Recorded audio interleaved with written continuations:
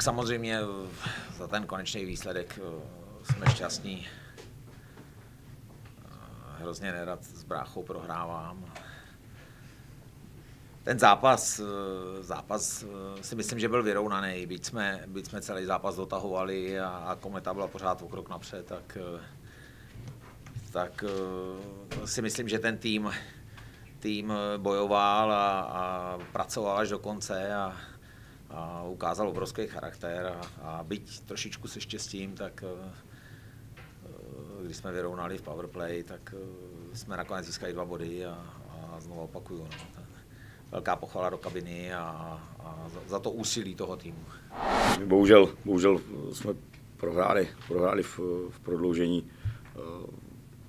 Škoda, drželi jsme vedení dvakrát, dvakrát nás soupeř dotáhl.